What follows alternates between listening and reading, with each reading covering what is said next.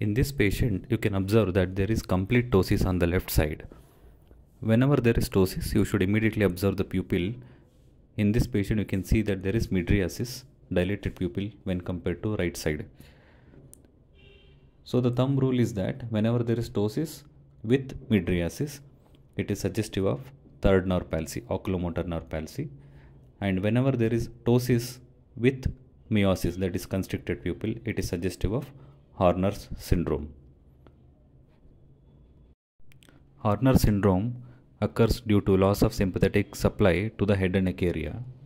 The lesion can be anywhere from the hypothalamus down to the spinal cord, cervical spinal cord, and cervical sympathetic chain.